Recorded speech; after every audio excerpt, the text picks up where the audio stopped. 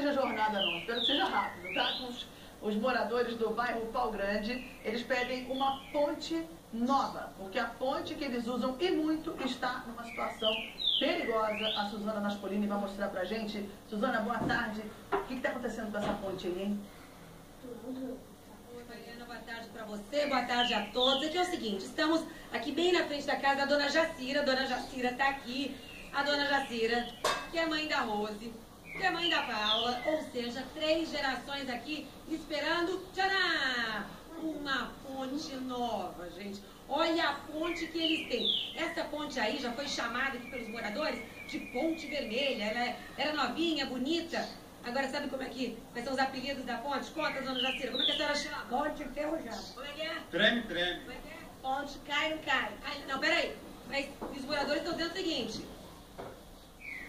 Essa obra tem que ser feita logo para a ponte não se chamar como? A ponte que caiu! Não pode, não pode. Vamos ver a reportagem que vocês vão entender. Morador chamou, a gente vai. Primeira visita, hein? Bom dia, aperta aqui.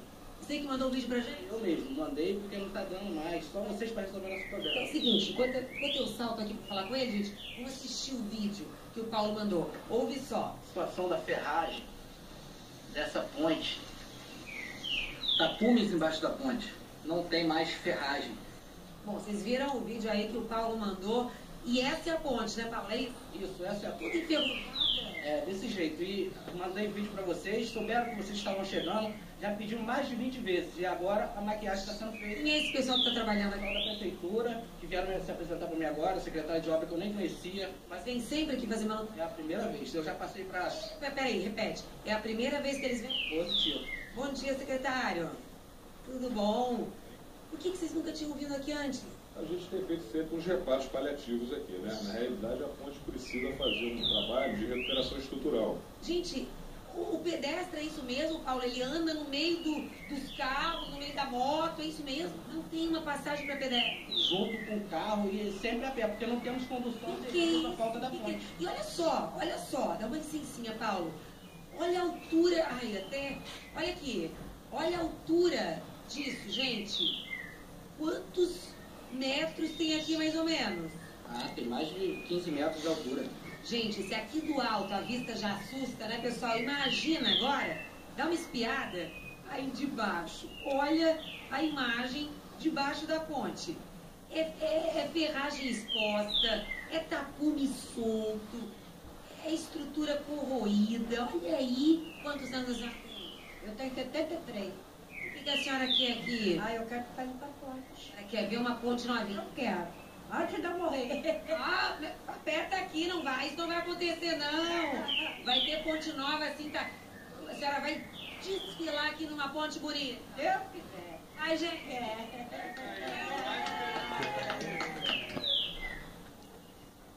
A dona Jacira merece, a gente está mostrando para vocês de novo. Que nós ficamos muito com isso aqui, essa, essa altura gigante, dá até medo de chegar ali perto. Só que essa aqui, gente, é a realidade dos moradores. Todo dia é isso.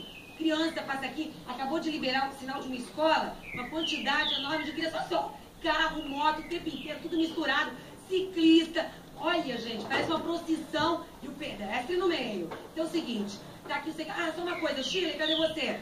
Só conta aqui, para quem tá em casa entender, como é que é a questão do ônibus. O ônibus não passa na ponte, gente. O ônibus não passa daqui pra lá. Do lado de lá parece que não mora ninguém. Nós não temos transporte. Tem que saltar aqui e caminhar? Caminhar dois quilômetros pra lá ou pra Pau Grande pra conseguir um ônibus. Obrigado, Shirley. Secretário de Obras está aqui, Paulo, obrigado pela sua participação. Agora, secretário, não dá, né? Então, a gente encontrou aqui uma sequência de absurdos hoje. Não tem placa de sinalização, tá tudo enferrujado, não tem proteção, pedestre misturado com carro. Quando é que começa essa obra? Na realidade, nós iniciamos um trabalho de levantamento técnico de todas as pontes do município por determinação do prefeito Nestor Vidal.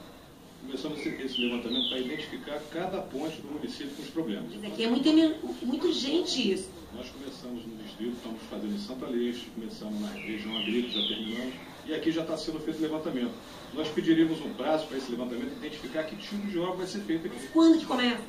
início da obra depois desse levantamento. 30 dias eu tenho esse levantamento já. É o seguinte, gente, nós estamos muito assustados com essa situação. Dia 27 de julho, por favor, Nunes, vou entregar para o senhor, para o Paulo, que mandou um vídeo para a gente. Tá aqui, então, olha só, julho, estamos terminando, 27 de julho, a gente volta, tá aqui na do Paulo também, para ver obra, para ver alguma coisa, porque como tá, não dá. E olha só, Paulo, você mandou o vídeo, continua fiscalizando. Estarei acompanhando e informando vocês do andamento da obra. Ai, qualquer coisa, por favor, Chile, empresta aqui. Olha, Mariana, temos agora aqui o cartãozinho da J Móvel, telefone do WhatsApp, qual é? Me ajuda. 999 Muito bom, manda vídeo, fiscaliza que a gente vai, Mariana. 27 de julho. Eu estou marcando aqui também, agora eu gostei mesmo quando o vozeirão da Shirley fala no telefone do WhatsApp, hein?